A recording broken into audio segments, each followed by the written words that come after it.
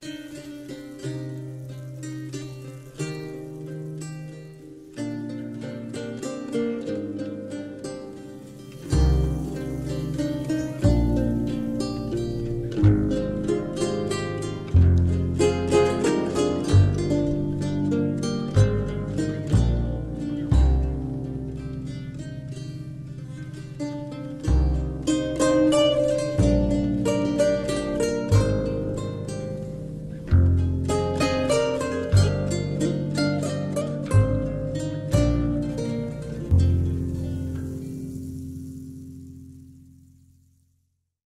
продолжаем читать вторую книгу царств и переходим к ключевой главе второй книги царств, вообще всех, всего корпуса книг царств и доисторических книг.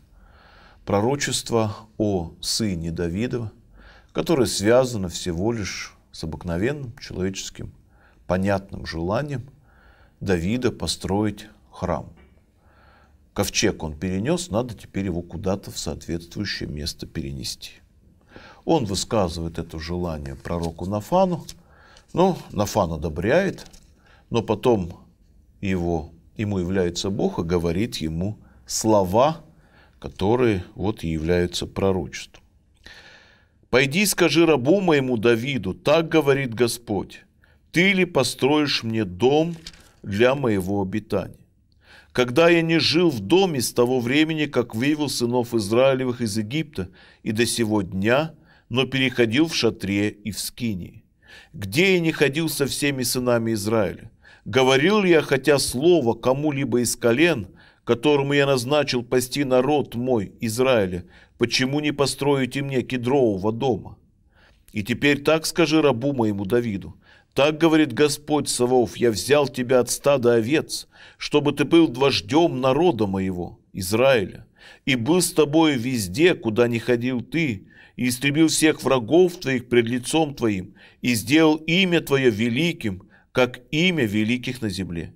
И я устрою место для народа моего, для Израиля, и укореню его, и будет он спокойно жить на месте своем, и не будет тревожиться больше, и люди нечестивые не станут более теснить его, как прежде.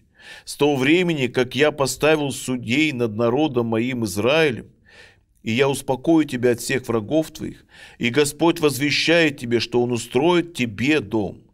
Когда же исполнится дни твои, и ты почешь с отцами твоими, то я восставлю после тебя семя твое, которое произойдет из чресл твоих, и упрочу царство его. И он построит дом имени моему, и я утвержду престол царства его навеки. И буду ему отцом, и он будет мне сыном. И если он согрешит, я накажу его же злом мужей и ударами сынов человеческих – но милости моей не отниму от него, как отнял от Саула, которого я отверг перед лицом твоим. И будет непоколебим дом твой и царство твое навеки перед лицом моим, и престол твой устоит вовеки. Само Соломон в свое время решил, что речь идет о нем, о Соломоне. Ну что мы здесь видим? И восставлю после тебя семя твое. Семя.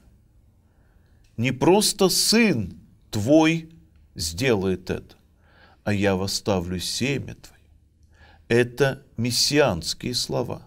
Именно так сказал Бог Аврааму в семени твоем благословляться, благословятся все народы земли.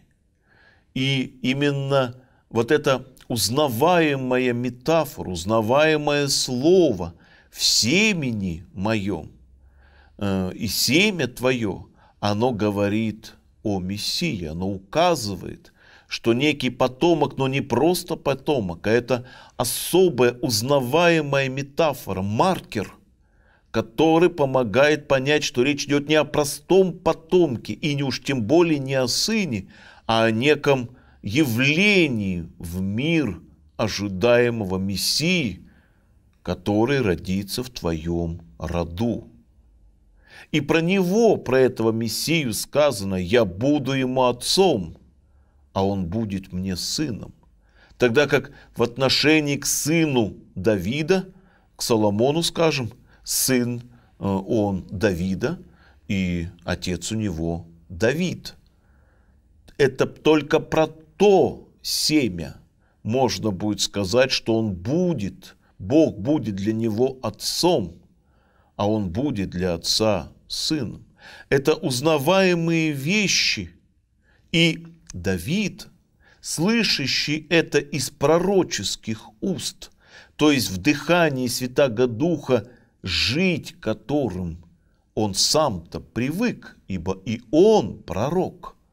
И он слышит это дыхание Духа ему ведомое и узнает его, что называется, считывает его по губам, и он правильно понимает это пророчество, поэтому он и говорит, именно показывая, что он пророчество понял правильно.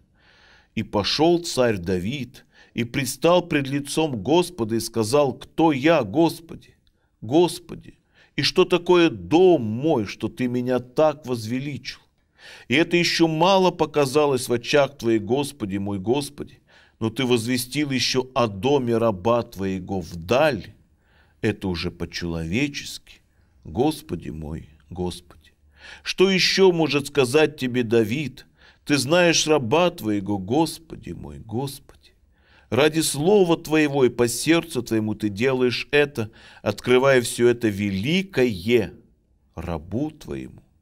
По всему велик Ты, Господи мой, Господи, ибо нет подобного Тебе и нет Бога, кроме Тебя, и по всему, что услышали мы своими ушами, и кто подобен народу Твоему Израилю, единственному народу на земле, для которого приходил Бог, чтобы приобрести его себе в народ – и прославить свое имя. Это как э, Елизавета, э, встречая Матерь Божью, «Взыграся младенец в чреве и я, и исполнилась Святаго Духа Елизавет, и говорит, а Мария ей в ответ говорит тоже Духом Святым. Вот такой пир Святаго Духа.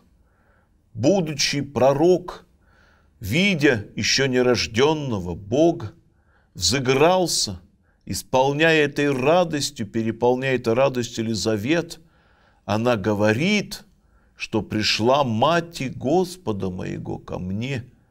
И Мария, исполняясь в ответ этих слов Святым Духом, говорит, «Себо отныне ублажат мя все роди».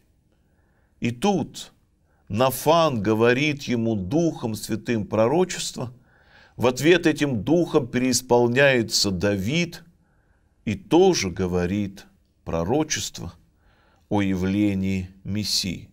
Он понял, и вот эти вещи, он говорит, ты возвестил вдаль, ты возвестил о том, что родится тот, о ком я даже быть отцом которого я даже не рассчитывал ты говоришь о том, что будет сделано в доме моем этим Мессием, и то царство, которое он э, сотворит, вот это все э, он говорит в величайшем трепете, постоянно повторяя, Господи мой, Господи, как же ты, что же ты делаешь, что же ты задумал? И все это для того, чтобы явить славу Твою. Вот. Но если Давид это понимает, и понятно, что ни о каком Соломоне, даже Соломон вот э, еще и не родился, конечно, вот, ну, родится скоро, и ни о каком вот сыне своем из рожденных или нерожденных он даже не говорит и не думает и не чувствует. Он смотрит именно о том значении, которое неожиданно дом его приобрел в глазах Бога, что именно среди его потомков будет Спаситель мир. Так радовался Авраам, так радовался Иаков, хотя и с большими скорбями и слезами на глазах. Так радуется Давид, так будет ликовать сердце Марии, когда она узнает, что она назначена в матери Спасителя мира. Соломон не присутствовал при этом пророчестве и понял все по-своему, что он и есть тот сын, и что он построил то самое, что ему было предназначено. И, конечно же, этот дом долго не простоял э, и будет разрушен, и все поймут, что не о Соломоне шла речь, и вовсе не об этом доме. И только после возвращения из плена, когда вспомнится это пророчество, и все поймут, что то, как понял это Соломон, будет неправильно, вот тогда пророчество о сыне Давидова будет нарицательным, оно будет восприниматься как пророчество о Мессии, и понимать его будут только мессиански, что именно он тот потомок Давида, который построит дом Божий, который утвердит Царство Божье, который победит всех врагов народа Божьего. Конечно, во времена послепленные Израиль все это связывал с самим собой, вовсе не помышляя о церкви, но пророчество это хранил, берег, и э, о Давиде, о сыне Давидова, как Мессии он знал, и поэтому, когда придет тот, в ком они узнали Мессию, они будут говорить о Санна, сыну Давида. Но и Соломон, ведь он был мудр. Конечно, нам теперь легко говорить о том, что это точно не Соломон, потому что дом этот должен стоять вечно и непоколебим, и царство это тоже вечно и непоколебим, и слава этого дома и этого сына Давидова вечна и непоколебима. Мы понимаем, что это никак не связано с Соломоном, но и Соломон, ибо он был мудр, мог бы об этом догадаться. Мог бы, потому что явно, что к человеческому престолу слова непоколебимо и вечно – относиться не могут. И надо было смиренно понять, что это вовсе не про меня, а про кого-то другого, чьи, чьими свойствами являются и вечность, и непоколебимость. И очевидно, что это может быть связано только как-то с Богом, ибо только Богу присуща вечность и непоколебимость. И Давид в Духе Святом это понял – но Соломон, который этого пророчества не слышал, естественно, принять, понять этого не мог. Но вернемся к самому пророчеству, вот, которое устами пророка Нафана Бог говорит Давиду. Оно ведь очень насыщено. И это не только пророчество о э, Мессии, об э, Христе. Бог говорит, начинает речь именно с этого, э, что вообще-то я никогда никому не говорил, что мне, ну, что я нуждаюсь в служении ваших рук. Это я вам служу. Это я вас вывел. Это я вас как на руках носил по пустыне. Это я вел вас в землю обетованную. Это я поразил ваших врагов. Это я рассеял всех ваших недругов. Это я вывел тебя от овец, это я поставил тебя царем, это я защищал тебя от врагов, это я привел тебя и возвел в царство над Израилем. Что ты хочешь? Это я тебе служу. Это я служу твоему народу. Это я служу людям. Я не требую служения рук человеческих, как скажут потом апостолы. Он единственный подлинный Бог, настоящий Бог, не игрушечный, не поддельный, не выдуманный, не тем более ложный, который всегда требует себе служения. Подлинный Бог сам служит людям. Он не требует, чтобы они ему служили. Он их отец и творец. Это он им служит, как потом скажет Христос, умывая ноги своим ученикам, это не вы меня выбрали, а я вас. Это не вы мне служите, а я вам служу. А вы идите и делайте так же. Вот это служение Богу, своему народу, это э, онтологическое свойство Бога, ибо Он есть любовь. Мы не можем Ему служить, потому что мы не умеем любить. Он служит нам тем, что постепенно отогревает наше сердце и учит нас любви. Это не простые исторические параллели. Это свидетельство о свойствах Бога. Бог и сейчас-то служит, вот во времена Давида. А когда он станет человеком, его, э, вот эта его черта, Бог как любовь, Бог как служение, оно будет э, явлено, оно будет очевидно. Сейчас Бог открывает это устами Нафана Давиду, потом будет открывать это устами пророков народу, также будет говорить о служении Бога. Вы ничего не можете, скажем, пророк Иезекииль говорит, или пророк э, Исаия говорит. Это я вас нашел, я вас подобрал, я вас наградил, я вас выходил, я вас выненчил, я вас одел, я вас обул, накормил, я все сделал. Что вы можете мне сделать? Ничего. Это я служу вам, а не вы мне. Но когда это только явлено устами пророков, когда придет Христос, Бог станет человеком, это его качество будет явлено всему миру. Оно становится очевидным для всех. Бог как слуга своему творению, как слуга своим детям, как тот, кто служит, тот, кто заботится, тот, кто как пастырь несет нас на своих плечах. Второе, что он говорит в этом пророчестве, он говорит, я никогда никому не давал такого повеления. Это не моя воля. Твое желание, да, но не моя воля. То есть ты хочешь построить мне дом по своей воле, а не по моей. Но постой, Давид, я ведь велел – построить нечто. Я велел построить Моисею скинию. Там так и сказано.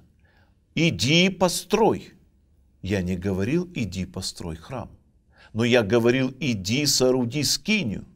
Причем Моисею было сказано соорудить скинию по образу, показанному на горе. То есть он не просто должен был соорудить скинию, как ему заблагорассудится, а был показан образец, по которым он должен был соорудить скинию. И были назначены мудрые сердцем люди, которые только и могли осуществить Божий замысел. Что же хочешь сделать ты? По своей воле построить дом, по своему собственному рисунку, чертежу, типажу, который у тебя в голове, людьми, которые будут исполнять либо свою волю и свое ведение, либо твою моей воли там не будет. Ты хочешь заменить мою волю, которую явлена в скине, на свою и построить храм просто по образцу, как это у всех народов, как это у всех язычников. Зачем? Это всего лишь твоя воля, а не моя. И в этом принципиальное отличие храма, которого потом построит Соломон, от скинии ибо Соломон соорудил это по своей воле и по своему плану, а Моисей соорудил скинию по Божьей воле и по плану, который он видел на горе. А почему, собственно, скиния? Что в ней такого особенного? А скиния – это очень важно.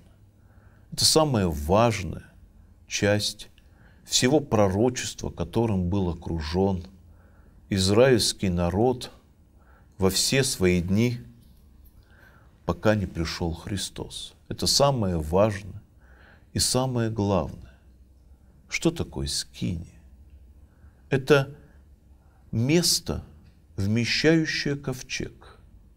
Это место, вмещающее Бога. Бог наполнял скинию, Он был в скине, и Эм, вот как бы сказать, была одеждой для вместилища Бога.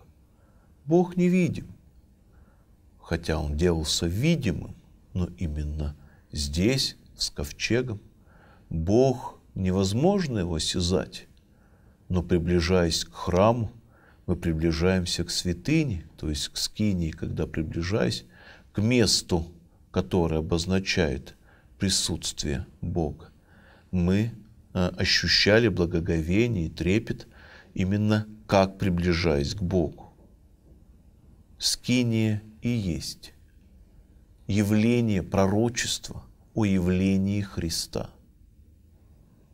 Ведь подлинное бытие Бога в среде своего народа будет именно в кожах, из которых сделана скиния. Кожаные одежды. Да, шкура обычная, ни камень, ни кедр, ни золото, ни серебро. Сокровища, заключенные в коже. То же, что несгораемая купина. Сокровища в материи. Но кожи особенно.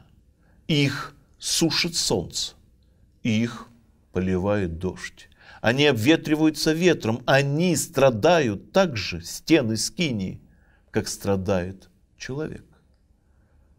Это пророчество о том, что Бог будет жить с человеком в коже, в плоти, и испытывать то, что будет испытывать человек – и только такое явление Бога настоящее, полноценное, и только такое пребывание Бога среди своих людей спаситель, настоящее и подлинное.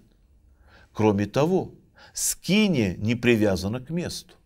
Куда пойдет народ, туда пойдет и скиния. Она там, где его люди. Да, он их ведет, как пастырь. Столб поднимается, и ведет. Но там, где народ, там и скинь. Они неразрывно связаны. Не народ приходит к месту, где находится ковчег, а ковчег идет, и за ним идет народ. Куда ковчег, туда и народ. Куда Бог, туда и народ. Он разделяет с народом странствование по жизни – и руководит этим странствованием, ведя народ к намеченной цели. И это пророчество о том, что вот именно таким образом войдет Бог к своему народу. И совершенно не случайно вратами Скиния была обращена к востоку. Именно врата смотрели на восток, алтарь смотрел на запад, а врата на восток потому что с востока должен был прийти Сын Божий, потому что солнце должно было взойти и войти в храм в этот. И вот именно такой храм должен быть у израильского народа и должен был дожить до Христа именно такой храм. Но люди не сохранили этого свидетельства, не, не смогли понять, не смогли вместить что скинь – это образ, показанный на горе Моисею, что именно таким будет подлинное вместилище Бога, когда Бог придет на землю. Именно этот Мессия построит храм такой же из плоти и крови. И мы этот храм скудельничая наши сосуды и есть тело этого Бога, и есть храм этого Бога, ибо мы, наши тела, суть храм Святаго Духа. Это пророчество не только о Христе, о том, что подлинный храм, который построит Сын Божий, который построит Мессия, который построит Бог точно так же из тленных, материальных, кожаных человеческих тел, но они пронизаны, освящены Божественным Духом, Богом, присутствующим в сердцах человеческих. thank you